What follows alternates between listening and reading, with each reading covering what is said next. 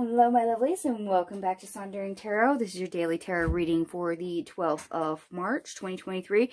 Once again, we're going to be using the Mystical Cats Tarot.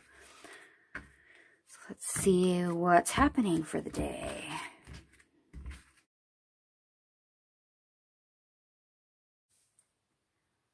Alright, my lovelies, not quite as many cards as yesterday. Let me show you what these are. The Three of Cups.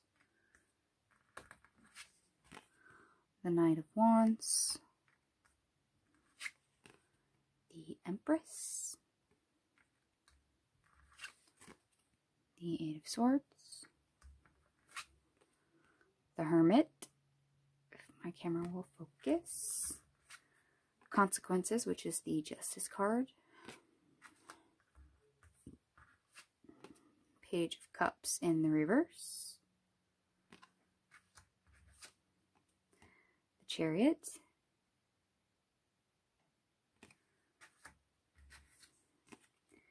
The Ace of Pentacles. The Four of Earth, reversed. Seven of Wands, reversed. The Five of Wands. The Ace of Cups, reversed. King of Wands, reversed. Two of Swords. The Lovers reversed. And the Priestess reversed. Okay, I, I actually kind of like this. And it's because of what you get. And what you get is actually in these first three cards. The Three of Cups, the Knight of Wands, and the Empress. You get to support, nurture, and for yourself, especially um, in your own self-expression. And I want to say also support your own personality. Um, you're you're nurturing yourself, but also able to nurture others. So um, better give and take. As I said, self-expression showing yourself compassion, nurturing yourself, taking care of yourself, um, being able to also potentially have a creative surge. So for those of you that are having um, creative blocks, that will hopefully um, dissipate on a day like today. And the rest is all of how you get that. So, as I said, blocks, being stuck, Eight of Swords. Um, if we go within and realize what's causing us discomfort, what's no longer speaking to us, what's no longer supporting us, we get the opportunity to move forward on what we need to let go of. And that is actually showing up as our boundaries. Our boundaries are not doing us the greatest of good. It, they're actually kind of hampering us uh, in a way right now, being too restrictive where that Eight of Sky is. So pay attention to what boundaries you have, whether that's boundaries um, with yourself, with um, your, say, your routines, your boundaries with other people, how you interact. Um, pay attention to those. So look at your boundaries for the day and the way your walls are, your boundaries are. Are they supportive? Are they nurturing? Do, do they let you feel inspired at all? Or do you feel restricted? Because once you make the choice to move boundaries, to let down certain walls, it frees up that space to let all that creativity, that nurturing energy, that support come back in. You're able to express yourself, you're able to nurture yourself.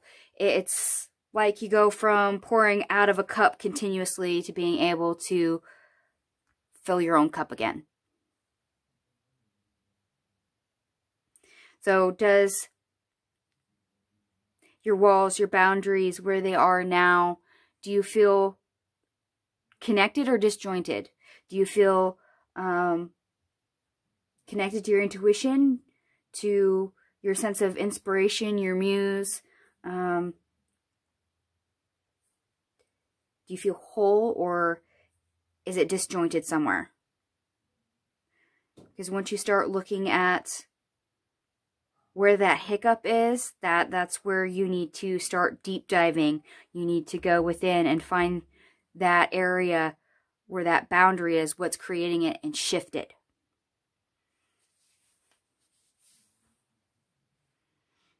And don't forget to show yourself a little bit of compassion, support yourself on, on this way um, to get from point A to point B.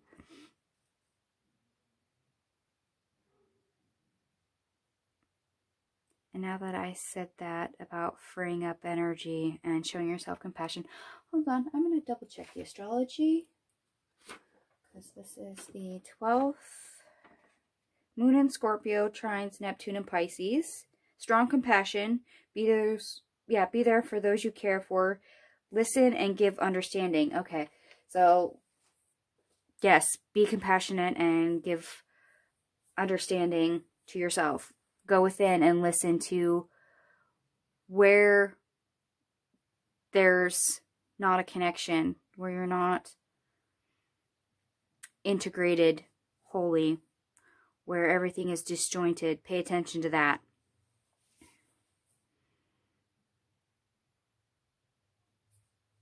Let me take one last peek here, make sure that we have no synchronicities that I have missed. I don't think there is, but let me double check.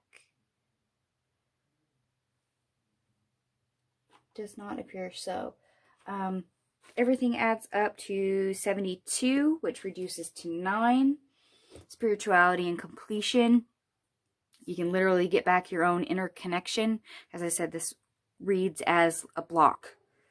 So freeing up a block, getting connection back, whether that's connection to source, connection to your higher self, connection to your muses, um, any place where you feel connected, supported, or given inspiration, as it were.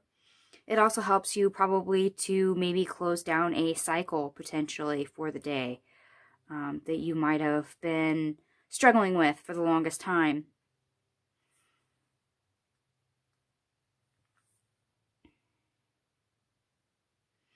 All right, my lovelies, I hope some of this resonated for you. If it does, feel free to like, share, and subscribe. Thank you so much for watching, and I will catch you guys tomorrow.